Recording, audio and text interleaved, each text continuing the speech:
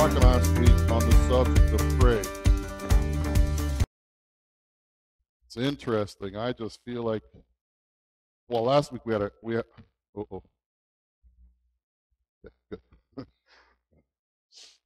it's interesting. Last week we had a we had a really good time of praise and worship.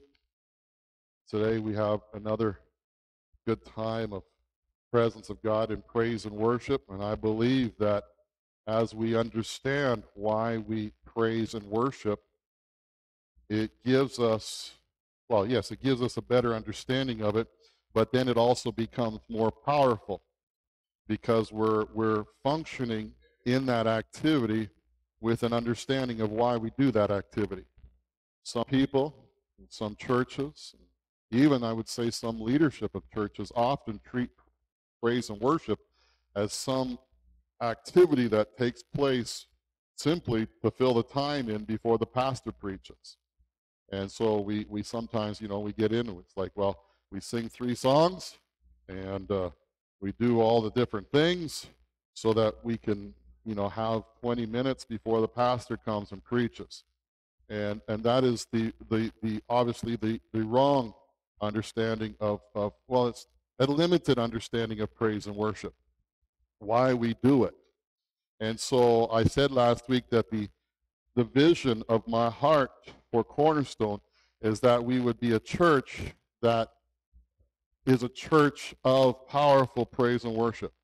And what I mean by powerful praise and worship is not simply, uh, you know, that it would be, uh, you know, known as far as exciting or, or, or, or known because it's somehow, you know, you know, like some of the things out there, very famous or anything.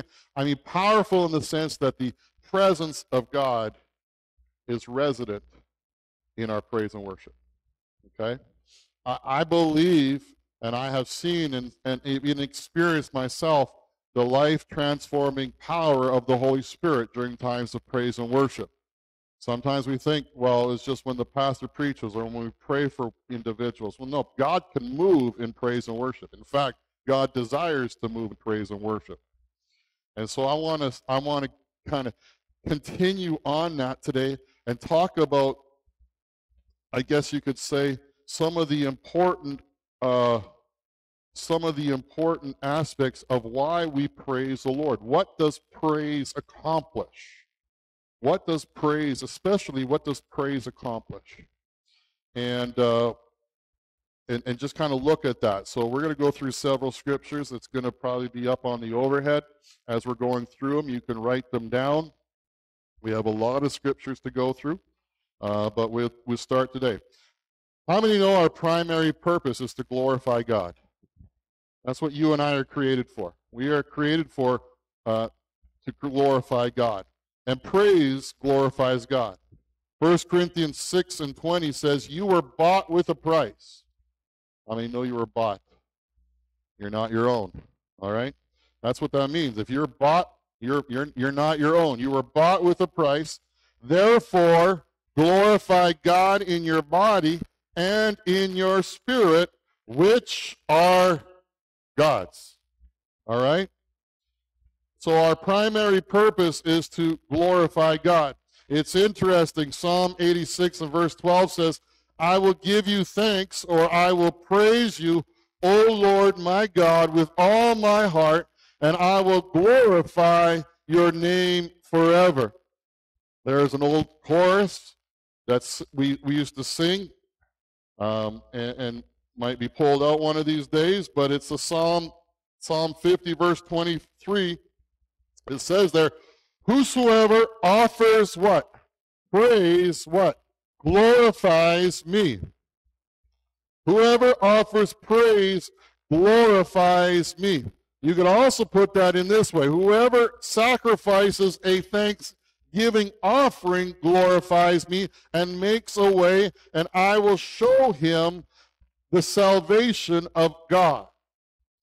The first thing I want us to see as we're talking about the fact that praise glorifies God is that praise is an offering or is a sacrifice that brings glory to God.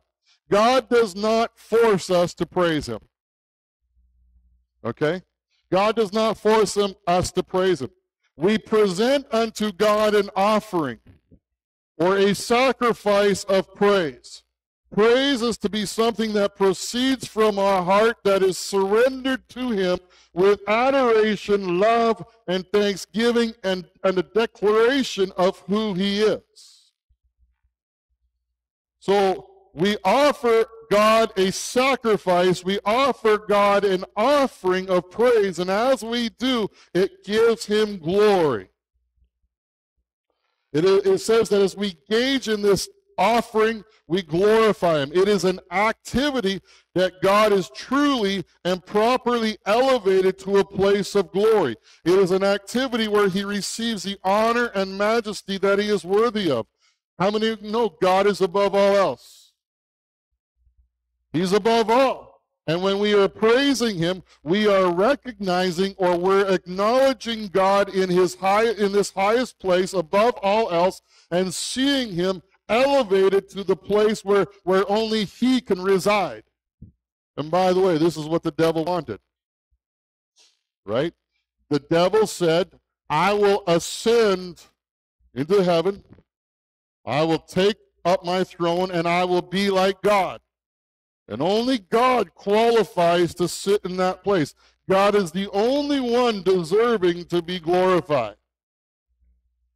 We may not realize it all the time, but even as we were doing it this morning, every time we sing a song, every time we lift our voices, every time we lift our hands, every time we, we speak of God's goodness, every time we dance. I was missing I was missing Addy at the back today.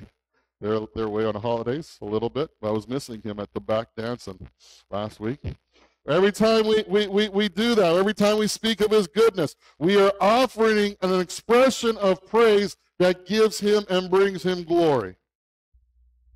It's interesting that there's a promise that comes with this. The King James writes it this way Whosoever offers praise glorifieth me, and to him that ordereth conversation aright will I show the salvation of God. That phrase, orders his conversation aright, is not talking about necessarily what comes out of his mouth, but it, it I mean, it, it includes that, but is actually an old uh, English term that talks about who orders his path or his journey of life correctly or in the right direction.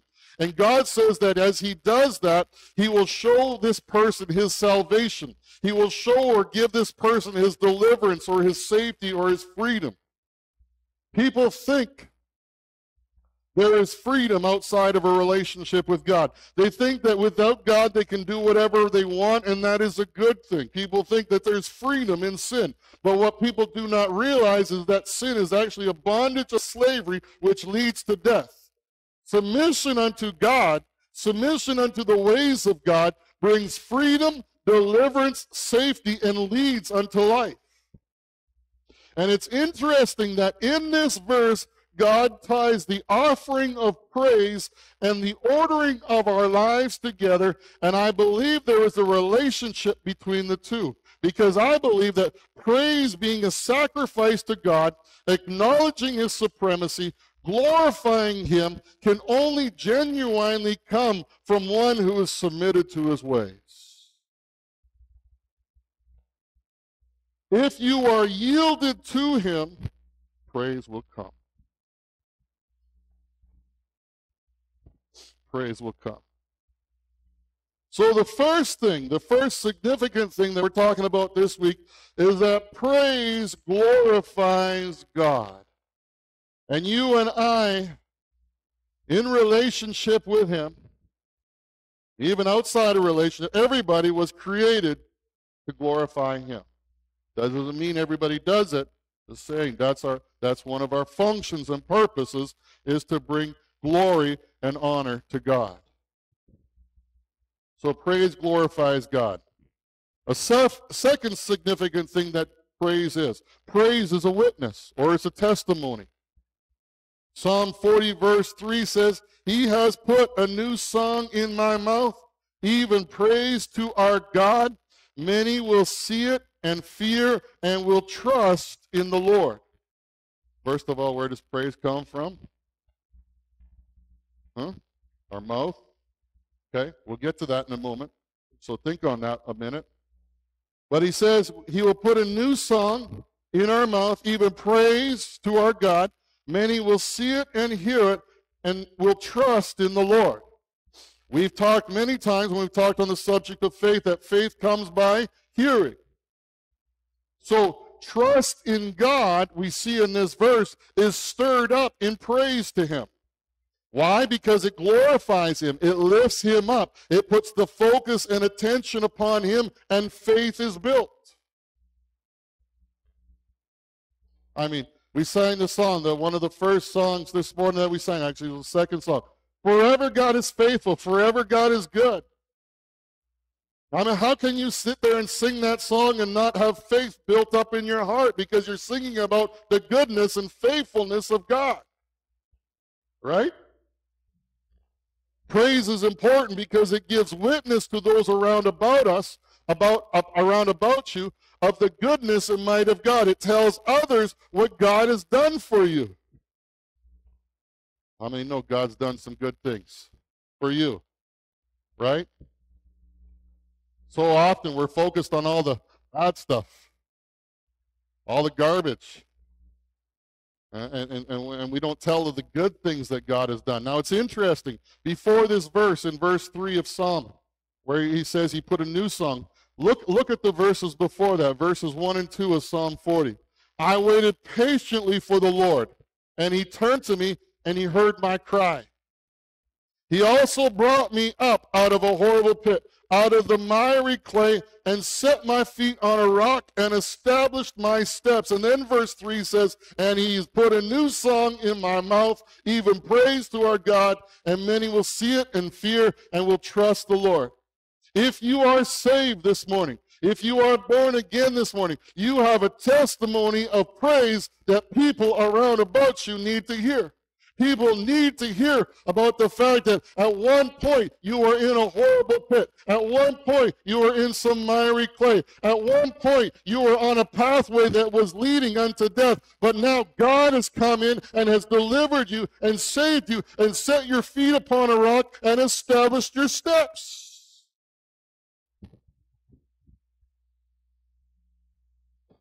You, you, know, we wonder why sometimes the world looks at the church and doesn't want to get saved. Well, it's because the church is complaining just as bad as the world.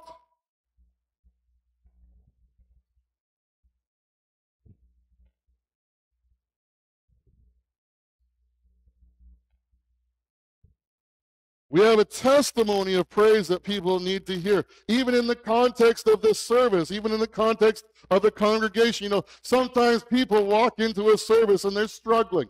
Have you ever been to church and struggling?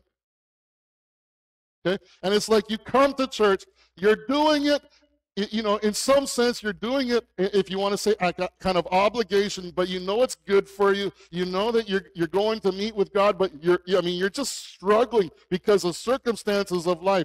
You know, sometimes it's important to understand that as we come into church and, and there are people maybe around about us that we do not know what's going on, but they're struggling. But our praise, our testimony, even the singing of the songs that we're singing and, and everything can be a witness or a testimony to the people around about us, even in the church, of God's goodness, and they will see and trust in the Lord.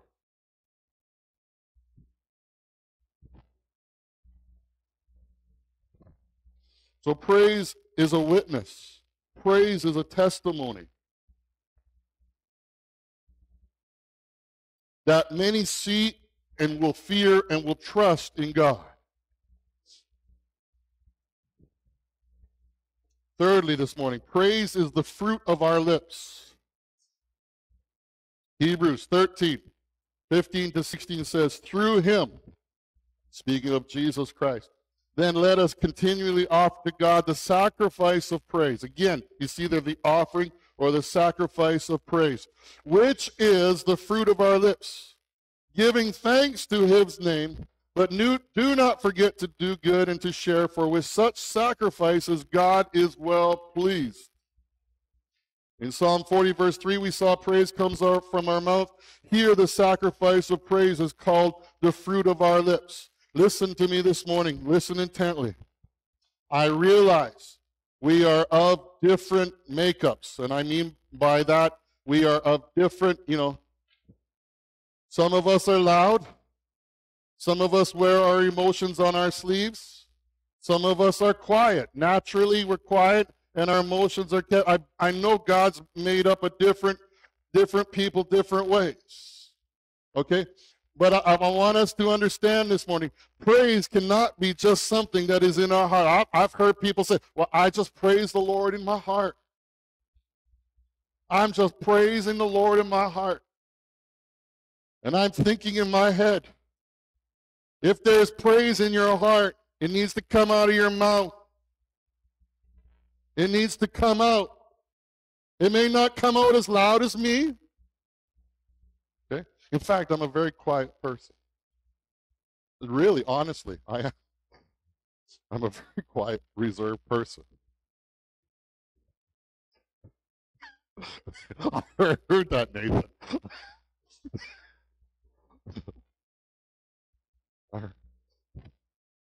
Something happens when I get in preach mode or in, in the church.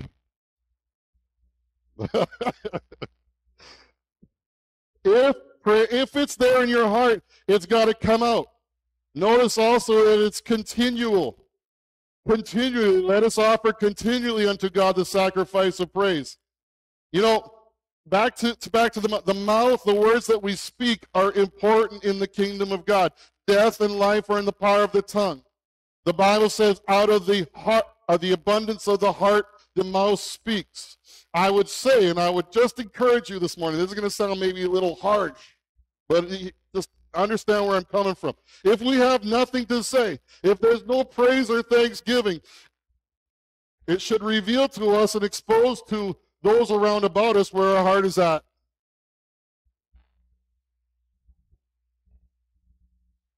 Okay? When we praise God with our mouths, we are openly declaring our submission and our complete need and dependence on Him. You know why I just come to my head. You know why most people don't want to express it out of their mouths because they don't want to be vulnerable.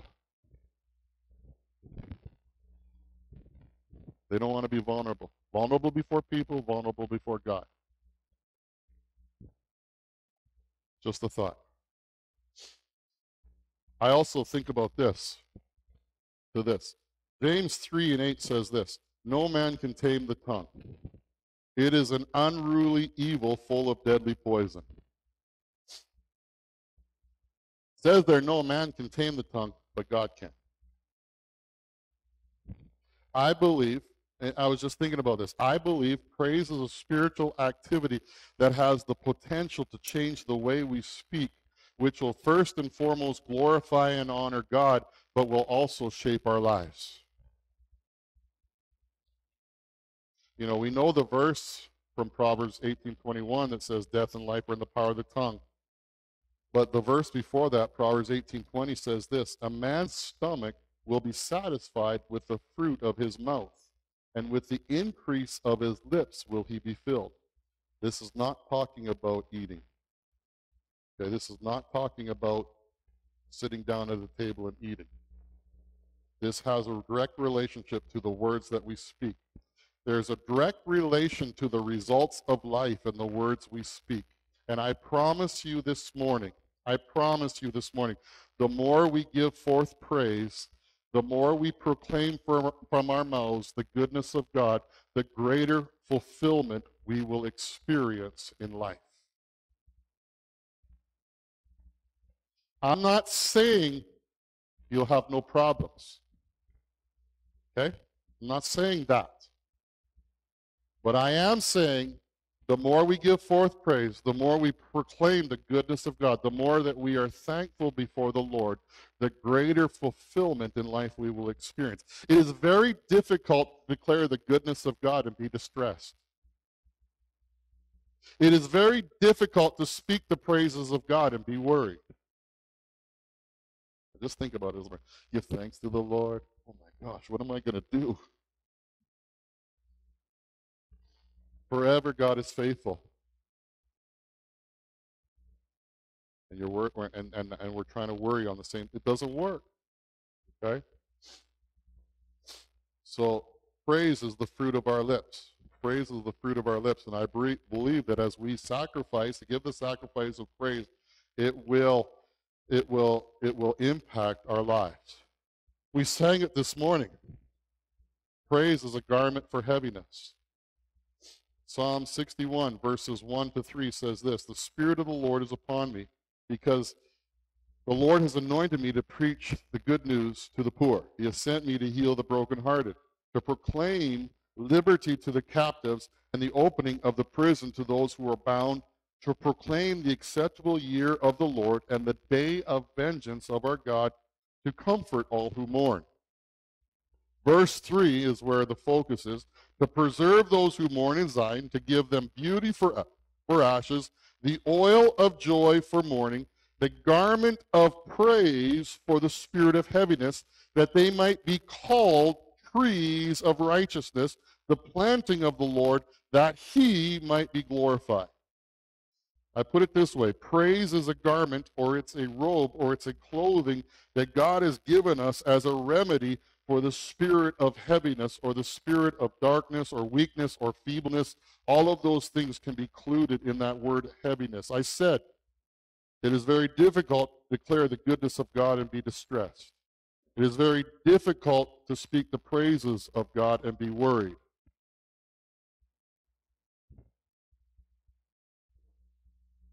Praise is a declaration of who God is, his goodness, his might, his power. Why, why is it so powerful in our lives? Because we turn our attention from our weakness and inability and we turn our attention to his strength and ability. All of that comes because we have trusted in the one who was anointed of God to bring salvation to us, and that may be Jesus. You see, as we saw in the verses preceding verse 3, you may be poor, but Jesus is the good news. You may be brokenhearted, but Jesus is the healer. You may be in a place of captivity, but Jesus is the one who sets you free. We live in a world of mourning. Amen? I mean, seriously, we live in a world of mourning. Okay? People are mourning. You, you, we think of mourning as crying. Well, people are crying. People are distressed. People are anxious. People are looking at the world, and we're living in a world of mourning. We live in a world of heaviness. We live in a world of ashes. Yet God, through Jesus, offers us beauty, gladness, and a robe of praise, a robe of celebration.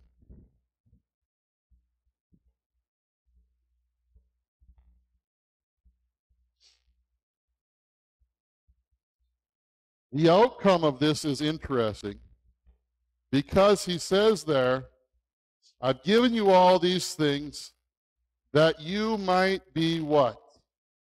Called trees of righteousness, the planting of the Lord, that what? He might be glorified. The outcome is that we are made into trees of righteousness, planted and sustained by God Himself. Why? So that He can receive the glory.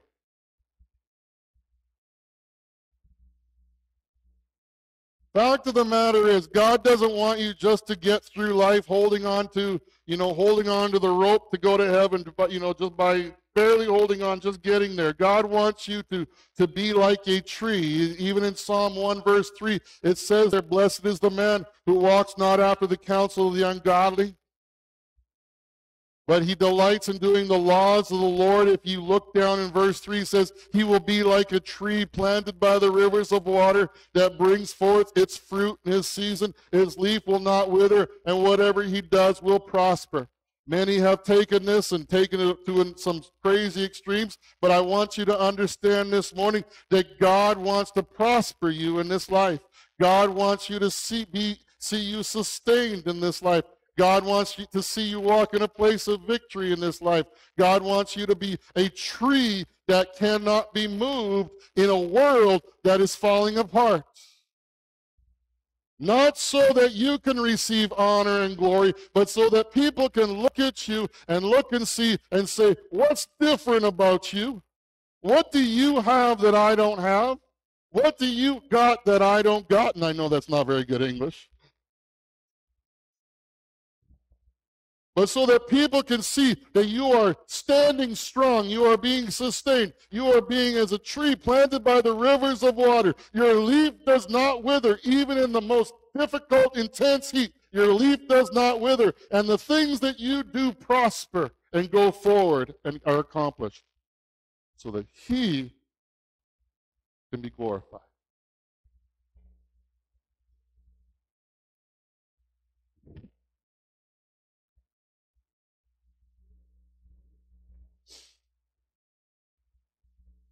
Praise is a garment for heaviness. We're going to speak a little bit more this morning on that in, in, in, just a few moments.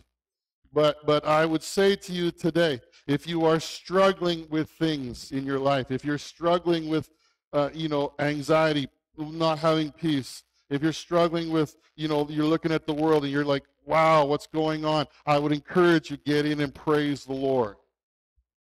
Not just church on Sunday morning, but at home you know, some of the things that I do when I get into my into my prayer time is I just go before the Lord and I praise the Lord.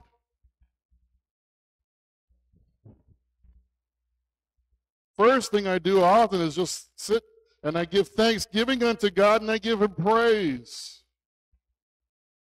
And before long, the sights that I'm focusing on change from maybe the circumstances of life to Him.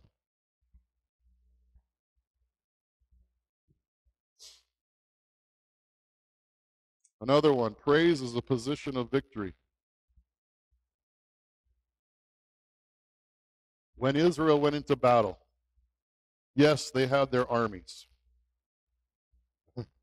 but if you really looked at it, every time they did the things that God told them to do, they never really had to use their armies. They had their weapons, but they also possessed a unique weapon. They had guitars, I don't know. They had instruments and they had voices. When the children went into battle around the walls of Jericho, who did God send out? He sent out the army, sent out the men who could fight, but he also sent out and put in, in, in front, literally, the priests and those who could blow the horns and trumpets and who could declare the praises of God. And the Bible says that at the shouts of the people and the sound of the trumpets, the walls fell. There's another interesting story. An army comes against Judah. It's in Second Chronicles 20, verse 21. We'll see, we'll see it there. But an army comes against Judah, and, and specifically King Jehoshaphat is there, and, and there's these instructions come. And in, in, in 2 Chronicles 20, 21, it says there, and he consulted with the people and then appointed singers for the Lord and those praising him in holy attire as they went before those equipped for battle for battle saying praise the lord for his mercy endures forever. So what did he do? He sent out the worshipers. He sent out the praisers before those who were he sent out them out before the army. We see the results in verse 22 and 23 when they began singing and praising, not when they pulled out their swords, not when they shot off the. I don't, I don't know if they had catapults, I'm just thinking. Probably not. Not when they pulled out the chariots and the horses and all that. When they began singing and praising, the Lord set ambushes against Ammon, Moab, and Mount Seir, who had come against Judah, so they were defeated. Verse 23 Then the Ammonites and the Moabites stood up against those dwelling from Mount Seir to destroy and finish them.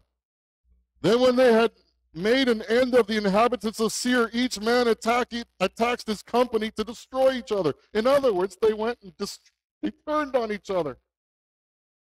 The praisers went forth, they sung praises unto God. God set ambushments against them.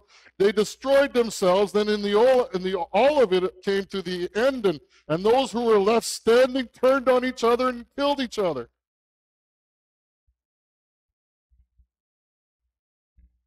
That sounds like a really good battle to be in if you're on the winning side.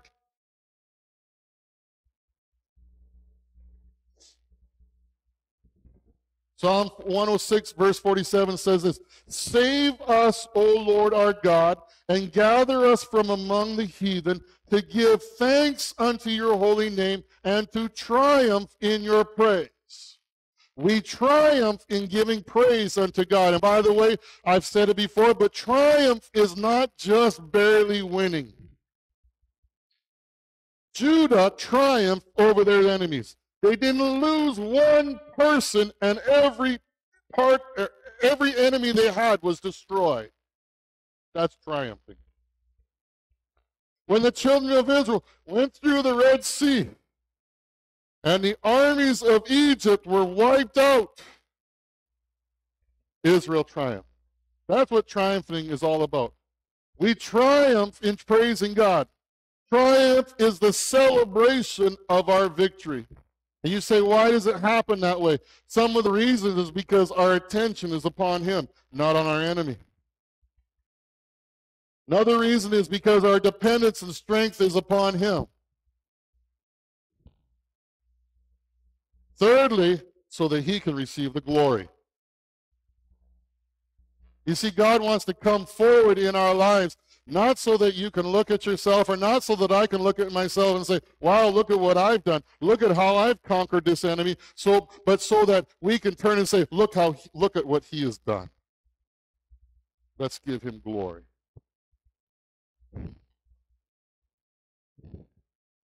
Praise is a means of deliverance. This kind of ties into what, what I was saying uh, uh, a little bit earlier the garment of praise for the spirit of heaviness. Praise is a means of deliverance. It brings God's supernatural intervention in our lives. Praise prepares the way for God to show his salvation. Acts 16, verse 25. It says there, at midnight, Paul and Silas were praying and singing hymns to God. And the prisoners were listening to them that actually word that that that that word listening should be should include uh, like listening intently. They weren't just hearing them. They were listening. They were listening intently to paul and silas sing hymns before the lord. Psalm 34 verse 1 to 4 says this i will praise the lord at all times. His praise will continually be in my mouth my my soul shall make its boast in the Lord, and the humble will hear of it and be glad. Oh, magnify the Lord with me, and let us exalt his name to, together. I sought the Lord, and he heard or he answered me and delivered me from all my fears. Many Christians are caught in their fears because they're focused on their fears and not on the Lord. And, and many Christians are caught in their fears because the problems that we face, rather than the praises of God, are continually in our mouths. We openly speak about their strength. We magnify and we make bigger these problems day after day, and we get overwhelmed with the fear.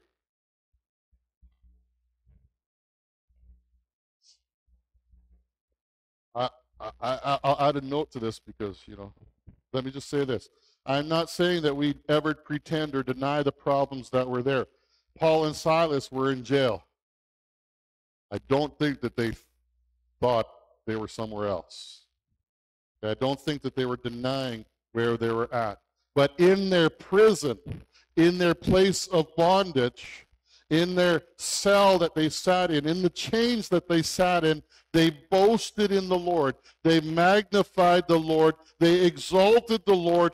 And, and it's interesting. They, at least I don't see it in Scripture, they didn't even, look like they didn't even ask God to deliver them. It, it just says that they, they exalted the Lord. They sang hymns unto the Lord. So I don't know. I mean, maybe they did. I, I, I don't see it there in the in the verse, but it says there, and the Lord delivered them.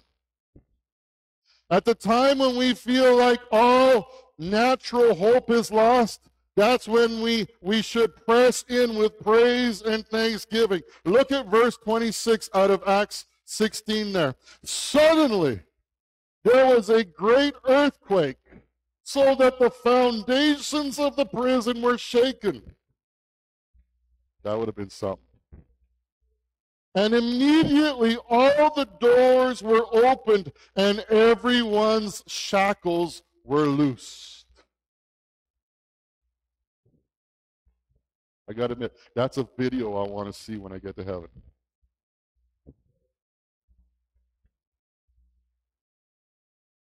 It's so interesting. Paul and Silas are in jail, they're in prison, they're in shackles, they're singing hymns unto the Lord at midnight.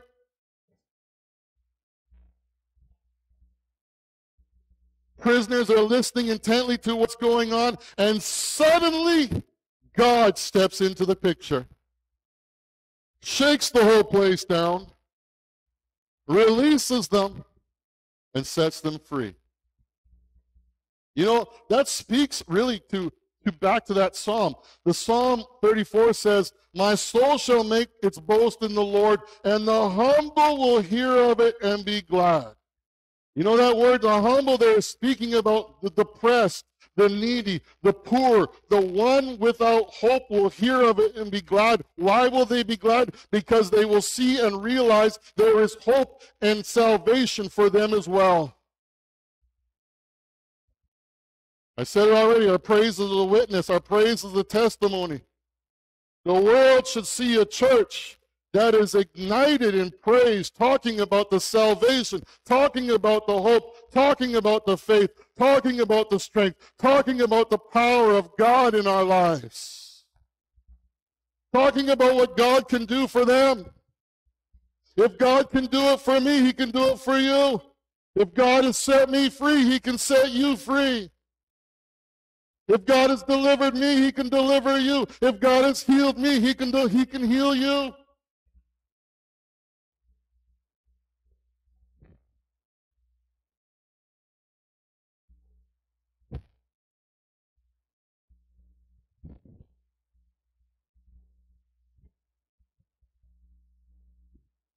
Praise is a means of deliverance. Praise is spiritual warfare. Praise is spiritual warfare. Psalm 8 and verse 2 says, Out of the mouths of babes and nursing infants, you have ordained strength because of your babies, or not your babies. Sorry. Ordained strength because of your enemies, to silence the enemy and the avenger. But what is that ordained strength? Jesus takes this verse and gives us the answer in the New Testament when he quotes this passage of Scripture. So remember, it says there, you have ordained strength. Matthew 21 and verse 16. And said to him, Do you hear what these what these are saying? Jesus said to them, Yes, have you never read, out of the mouth of children and infants you have perfected strength or perfected praise? Or the ordained strength of God's people is praise. It's no wonder the enemy doesn't want us to praise. It's no wonder that at times it can be difficult and it can be a struggle to praise. Because in the perfection of praise, there's ordained strength to overcome. Psalm 149, verse 5, it says there, Let the godly ones be joyful in glory. Let them sing for joy on their beds. Why? Or continue that. Let the high praises of God be in their mouths and a two edged sword in their hands. For what? To execute vengeance on the nations and punishments on the people. To bind their kings with chains and their nobles with shackles of iron.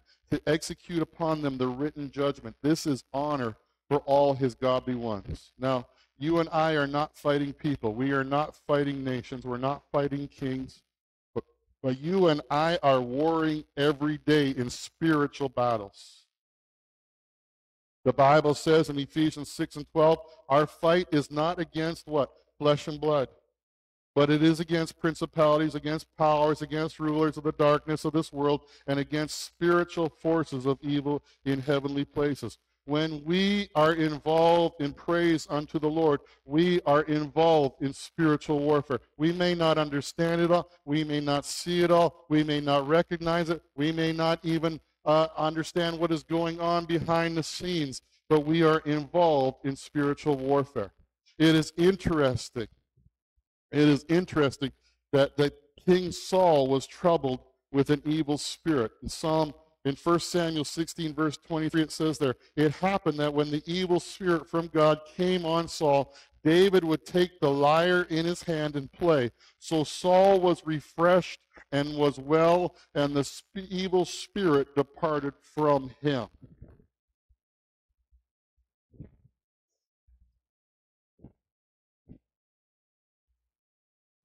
We've seen it this morning through a couple of different things that we see that praise is a means of deliverance. We see that praise is a position of victory.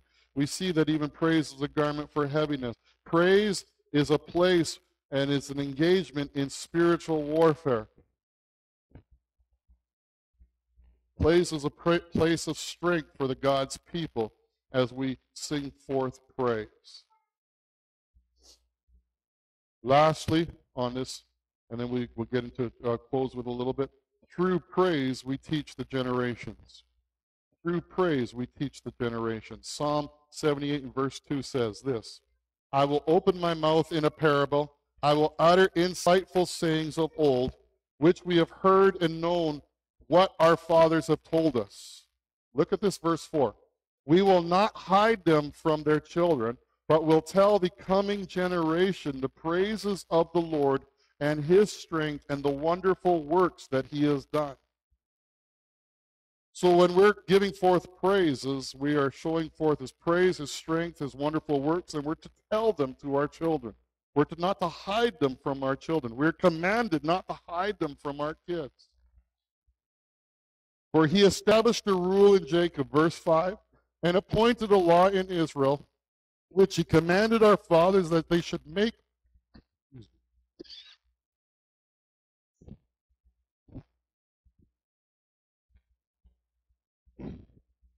that they should make them known to their children, that the generation to come might know them, even the children who are not yet born, who will arise and declare them to their children.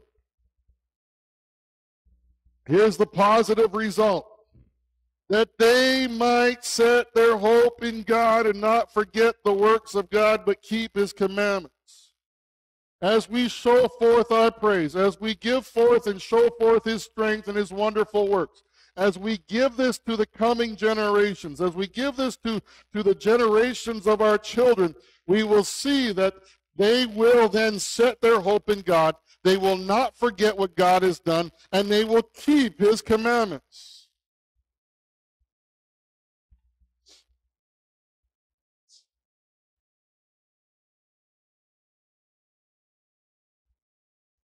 I hate to say it, but I'm going to say it. I believe one of the reasons we see our children struggling today in churches, struggling in their faith, is because the church has not understood the power of praise and the power of declaring who God is. We have often taught treated praise just like I say, as sing song, but we have not issued forth and sung the praises of God. We have not issued forth and sung about his strength and his wonderful works, even in our own lives as father and as parents. We have not given these things to our children, and our children have stood back and wondered where God is.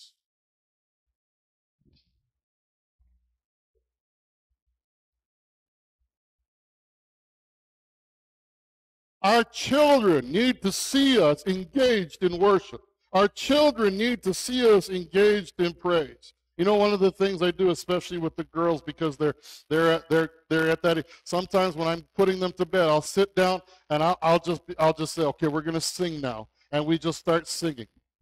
Now they're trying to sing. I know they're off tune. I know that they don't got the words. I know that they're making noises, and you know, I say, oh, now it's time to clap, and we clap I said, now it's time to let's lift our hands, and we lift our hands.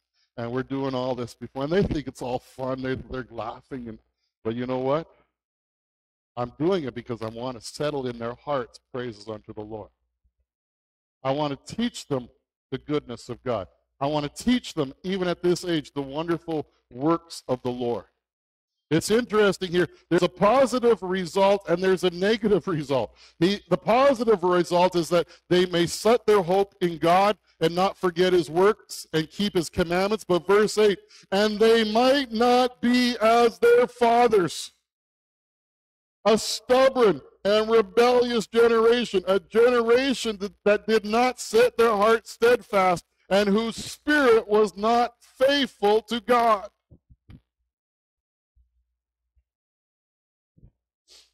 Parents, we can communicate all the earthly knowledge and wisdom, which is important. I know that for, you know, operating and navigating the world that we live in.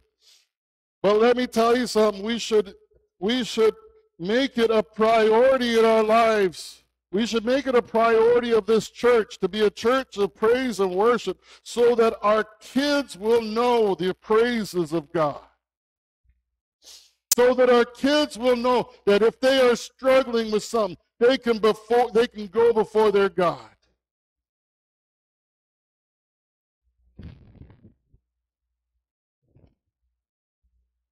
Psalm 79, verse 13 says this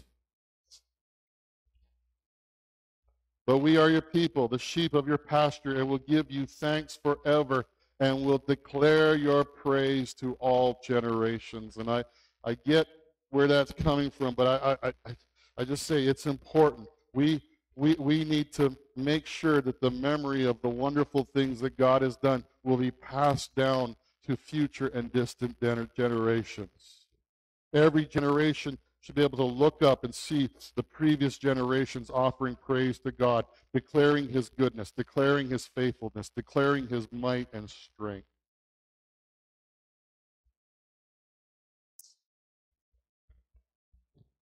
I close off with this. When should we praise the Lord? Just a little little thing. Yeah, we we you're right.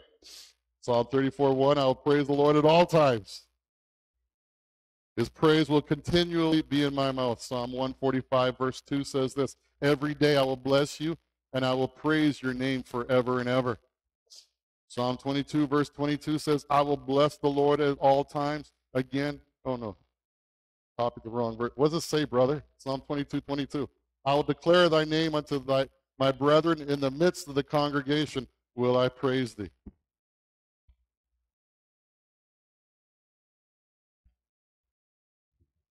Praise unto the Lord. We glorify and honor God. Amen.